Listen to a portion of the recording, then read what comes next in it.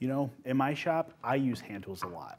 And one of my favorite things to do is to use a plane to clean up the edge of a board, especially a board that has mill marks left over from a table saw. The problem is, with a long board like this, if you clamp it in a vise, the downward pressure on this end as you're hand planing can cause the board to shift. Now, on a traditional style bench, you'd have a sliding dead man or a board jack that you could use to hold this end up. But if you don't have one of those, this is a great opportunity to use a hand screw. Now, hand screws don't have a ton of use in everyday woodworking, but this is the perfect opportunity. You can grab this guy and clamp it on the end of your board, and the overhang on your workbench lends extra support to that end of the board. That way you can plane and your board's not going anywhere.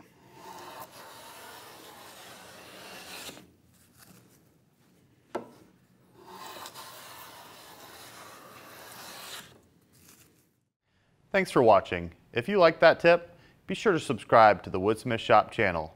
We're always adding new shop tips and woodworking videos every week, so hit the bell button to be notified, plus look for project plans and downloads in the description below.